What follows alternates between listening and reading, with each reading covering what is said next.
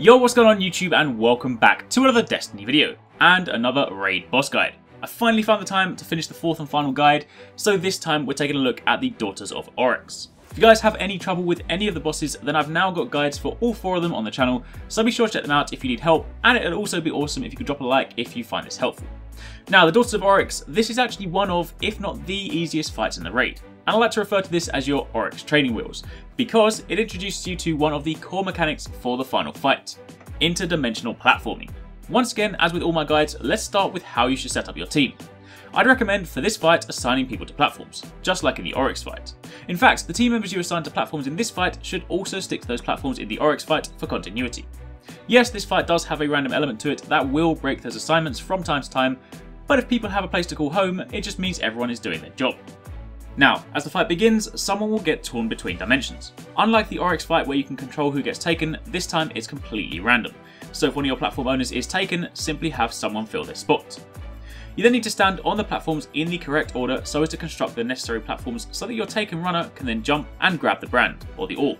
And also you only need 3 people to stand on platforms for this and not 4. So once someone is torn, a relic or an orb will appear above one of the four platforms. You then need to begin standing on platforms counterclockwise from the one adjacent to the orb. What I mean by this is, say for example the orb spawns above the front right platform.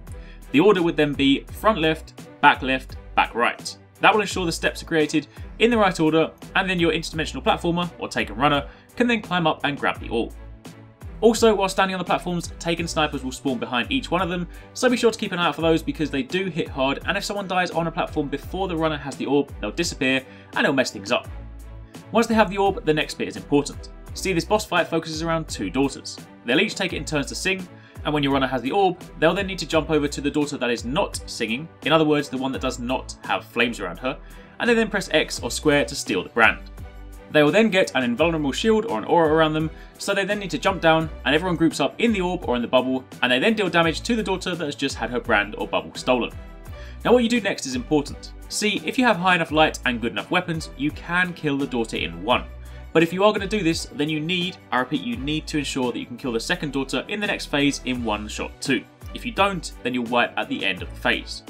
If your light and damage output isn't too high, and you're not certain you can kill each daughter in one, then simply get this first daughter down to below half health and then wait.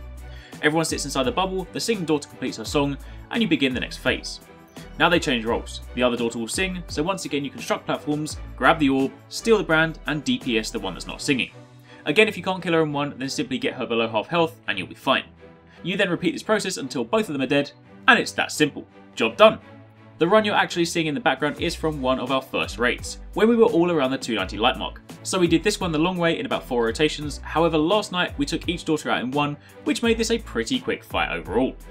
Either way, that's how you do it, so hopefully you found this helpful. Let me know if you do have any questions in the comments down below, but aside from that, thank you very much for watching, take it easy, catch you next time, peace out.